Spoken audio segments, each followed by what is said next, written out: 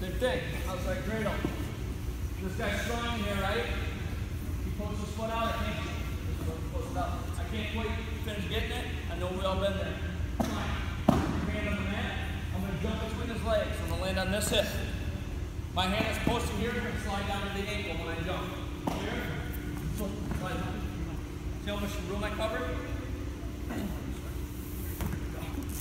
So when out here, I jump, put my hip over here on the mat.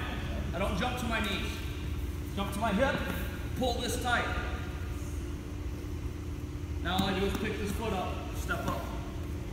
Now he's tipping over. Now I just grab my wrist. I can push back and start grabbing my wrist. Same position. Okay? I'm gonna show you how to finish it too. Outside. If we have trouble pinning the guys. so we're gonna do two and one right here. We're getting pressed for time. Grab Grab past it, pull it to you. Post. This guy can start getting strong with us, fine. I have to jump my body in there because he's holding a pretty good position right here. I have to squeeze this and jump. Here, so he slides in. Pick this up. Step up. I almost kicked him in the face? Some of you guys are gonna try to step up like this. Step up. You can't. Grab my foot. you ain't doing nothing. Don't be afraid to step up. Grab your wrist. Step back.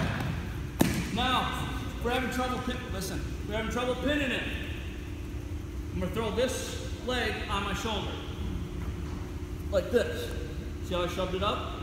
Sometimes it takes a couple times. I might have to work it around. Now once it's up on my shoulder, pinch the mat. We're gonna punch it. Crawl right up on top and stack it. Okay? Here. Close. Got my hand close, jump in between. Pick this up. Step up. Grab my wrist. Step back. Having trouble pinning in? It's fine. Start throwing this up on your shoulder. Start moving his body so it's up here. When I'm ready to turn my hips down, punch the mat. Start coming up to my knees. Stack them up. Okay? Work that up on your shoulder. Once you get it, punch the mat, turn your hips, go